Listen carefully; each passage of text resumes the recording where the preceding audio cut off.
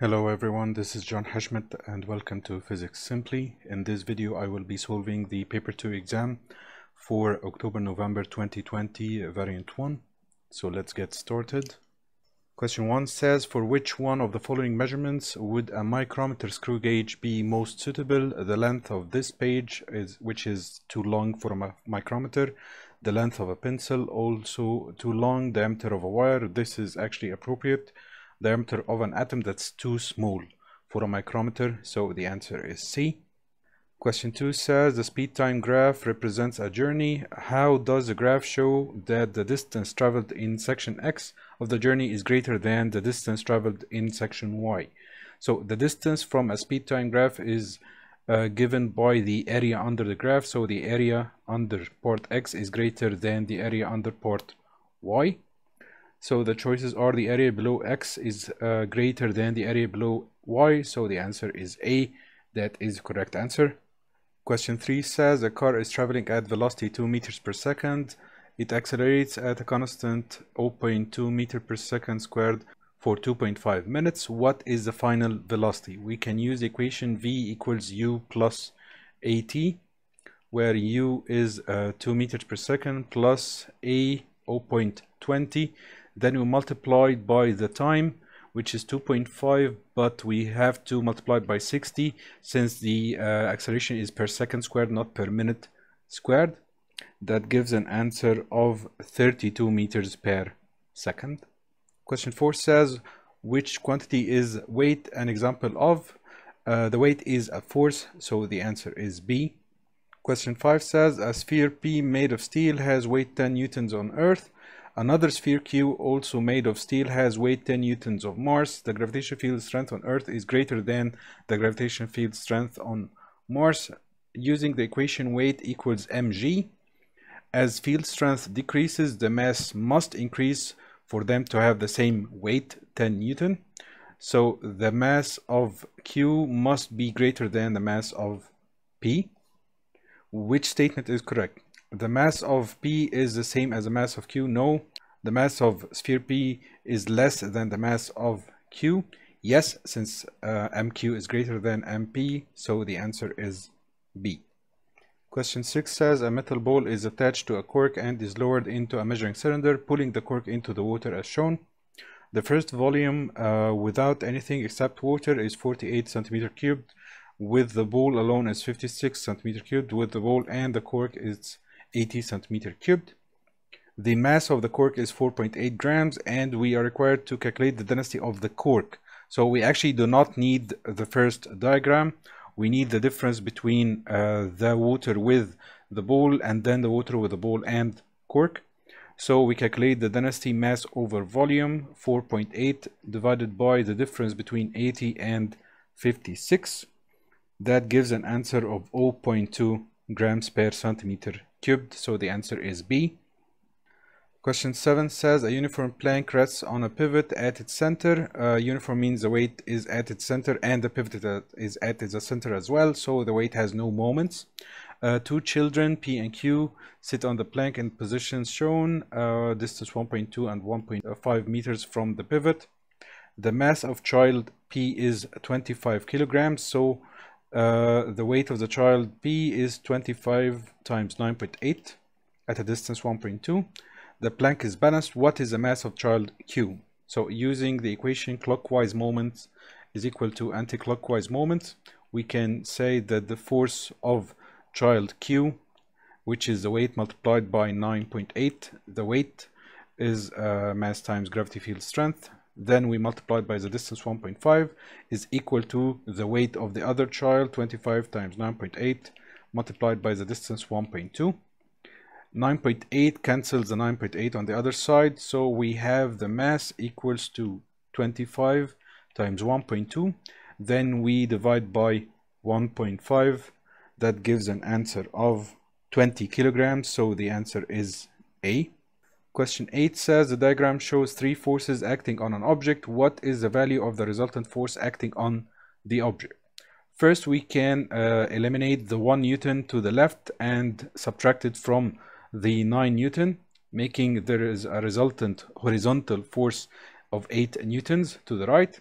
and we have a vertical force of 6 newtons upwards and we need to calculate the resultant so drawing them uh, head to tail you get a right angled triangle and we want to find the resultant which can be calculated using Pythagoras which is the square root of 8 squared plus 6 squared making the answer 10 newtons so the answer is B. Question 9 says an object with a mass of 0.20 kilograms moves at a speed of 0.20 meters per second as shown.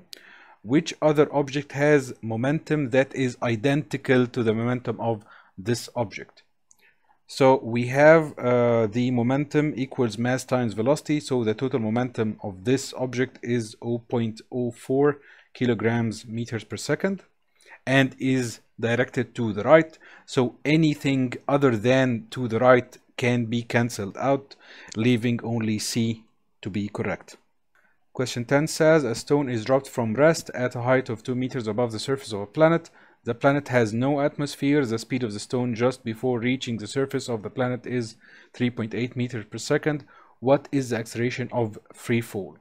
So we have u equals 0 from rest and v equals 3.8 and the distance is 2 meters and we want to find the acceleration we can use the equation v squared equal u squared plus 2as substituting by these numbers we have 3.8 squared equals 0 plus 2 multiplied by the acceleration unknown multiplied by the distance or the displacement 2 then we divide by these two on the other side, giving an answer of 3.61.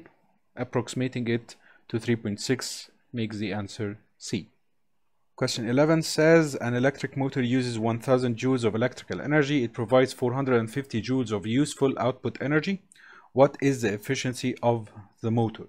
We can use the output energy divided by the input energy times 100 that gives an answer of 45 percent the next question says to calculate the power produced by a force the size of the force must be known. What else needs to be known to calculate the power? The distance is needed uh, to calculate the work force times distance and the time is needed to divide energy or work by time to calculate power. So the answer is A. Question 13 and 14 are uh, eliminated from the new syllabus, but I will uh, solve them. So you can skip these two questions. A barometer reads 780 millimeters mercury. Uh, mercury has a density of 1.36 times 10 to the power 4 kilograms per meter cubed. What is the pressure of the atmosphere in Newton per meter squared, which is actually the uh, base units or the SI units? So we can use the equation pressure equals rho g h multiplying 1.36 times 10 to the power of 4 by g 9.8 by the h in meters so 780 divided by 1000 this gives an answer of 103,958 uh, Pascal or Newton per meter squared which can be approximated to 1.1 times 10 to the power of 5 Newton per meter squared Question 14 says the diagram shows a mercury barometer. Which height is used as a measurement of atmospheric pressure? It's from the top of the mercury in the barometer to the top of the mercury in the dish. So the answer is C. Question 15 says a student splashes water onto her face. Here are three statements about the effects. The water uses energy to evaporate. That's correct. Uh, the water gains energy from the student. That's correct also the face of the student cools that is also correct which statements are correct all three so p q and r question 16 says when a bridge is built a gap is left between each concrete slab. Why are these gaps left? Is it because concrete expands on warm days? Yes. Concrete contracts on warm days? No. Uh, they expand. The gaps expand on warm days. The gaps contract on warm days? Also no. So the answer is a. Question 17 says the specific heat capacity of solid P is greater than that of solid Q. So Cp greater than Cq. What does this uh, statement mean? Less energy is needed to raise the temperature by one degree uh, of unit mass of solid P than unit mass of solid Q? No, since the specific heat capacity of P is greater, it needs more energy, not less energy. Uh, less energy is needed to melt, not melt, uh, to raise temperature. More energy is needed to raise the temperature of P than unit mass of Q. Yes, so the answer is C. Question 18 is about latent heat, which is removed from the syllabus, so you can skip this question for the new syllabus. A student places a number of ice cubes in a container with a hole in the base. He left them to melt so that the water dripped into a beaker placed on a balance. The student recorded the initial mass of the beaker and the final mass of the beaker and water after 5 minutes. The specific latent heat of fusion of water is 334 joules per gram, but the mass is measured in kilograms, so we will need to convert that. We multiply by 1000 how much energy was absorbed from the surroundings in order to melt the ice. The equation is Q equals ml, uh, which is the latent heat. The mass is the difference between the two readings, so 0.16 minus 0.05. Then we multiplied by the latent heat capacity, which is 334 times 10 to the power of 3, making the answer 37,000 joules, so the answer is C. Question 19 says the diagram shows four rods. Each rod is made of different metal. Wax is used to attach small metal balls at uh, the rod ends P, Q, R, and S. Each rod is the same size. They are heated uniformly by a Bunsen burner at point X. As the rods warm up, the wax melts and the balls fall off. Why does the ball on the silver rod fall first? That's because conduction happens first in silver or fastest in silver. So is silver is the best conductor of heat? Yes, that is the answer. Question 20 says four cups A, B, C, and D contain hot coffee. Which cup keeps the coffee warm the longest? So that means that it is the worst emitter of infrared radiation or the poorest conductor or something like that. So the outside surface of the cup is black or white. It's white, so it does not emit enough energy the top of the cup is covered with a lid or not covered with a lid. It's covered with a lid to reduce convection or evaporation. So the answer is C. Question 21 says, which row correctly described light waves? Uh, is it longitudinal or transverse? It's transverse. The direction of vibration is perpendicular to the direction of wave travel. So the answer is D. Question 22 says the diagram shows part of a diffracted wave pattern. Changes are made to the wavelength and the gap size to produce a semicircular diffraction. Semicircular diffraction, that means more diffraction. Since it's uh, it was a straight line, then bendings at the edges, we need to increase the diffraction to make it semicircular. Which row produces the required semicircular diffraction? So we need the gap to be as close as possible to the wavelength. Here the gap is too wide, so we need uh, the gap to be narrower, but it is not in the options, so we choose the same. And we need to increase the wavelength to reach the size of the gap, so larger wavelength. So the answer is C. Question 23 says which statement about the thin converging lens is correct? All rays of light refracted by the lens pass through the principal focus, not all the rays, so it's not A. All rays initially parallel to the principal axis of the lens are refracted through the principal focus. Yes, that is correct, so the answer is B. Uh, C and D says the focal length of the lens is the distance between the image and the principal focus, not the image. The focal length uh, is the length between the object and the image, also again not related to the object or image, so it's B. Question 24 says the diagram shows white light passing through a prism. Which description of what happens as the light passes into the prism is correct? The speed of the red light is less than the speed of the violet light. No, actually violet uh, changes speed more than red, so no. The speed of the red light is greater, yes. Uh, the speed of the violet light is less, yes.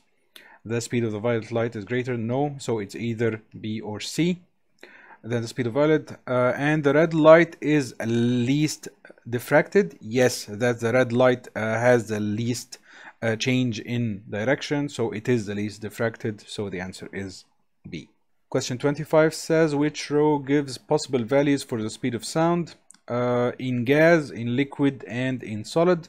In gas like air, air uh, has a speed of 340 meters per second, so it's in the hundreds. In liquids like water, water has a speed of 1500, so this one. In solids like steel or concrete, it's 5000, so we need a high speed, so the answer is A. Question 26 says a police car uh, with its siren sounding in uh, stationary in heavy traffic, a pedestrian notices that although the loudness of the sound does not change, the pitch varies. So loudness is related to amplitude. Loudness does not change, so the amplitude is constant. Frequency is related to pitch, so that is varying, making the answer B. Question 27 says a piece of steel is lightly magnetized. It is hit several times with a hammer. What effect will this have on the steel? If you place the steel parallel to a strong magnetic field, hammering it would help it get magnetized even more so it becomes magnetized more strongly placing it at right angles to the field uh, that causes uh, the atoms to lose their orientation or the electrons to lose their orientation so it loses its magnetism so the answer is B. Question 28 says two soft iron pins are suspended from the S pole of a bar magnet which diagram shows how the pins are deflected so this is magnetization by induction. So the south pole would induce N poles near it and S poles far apart from it or far away from it. So these are S, all these are S. So S poles should repel each other, making the answer C. The next question says a negatively charged plastic rod is brought near to an uncharged metal sphere. So we have a negatively charged rod and a metal sphere, uh, which is neutral. What happens when the metal sphere is earth? So at first the negative charges move away and the positive charges remain in place. Earthing that uh, system makes the earth feel that there is more negative charges than positive charges. So the extra negative charges are removed from the sphere so electrons flow from the metal sphere to earth that is the correct answer Question 30 says, which statement defines the electromotive force of a cell? It is the energy needed to move a unit charge across a complete circuit. So is it the current? No, it is not the current. It is the energy supplied by the cell to drive one coulomb of charge around the complete circuit. Yes, so the answer is C. Not one ampere, one coulomb of charge.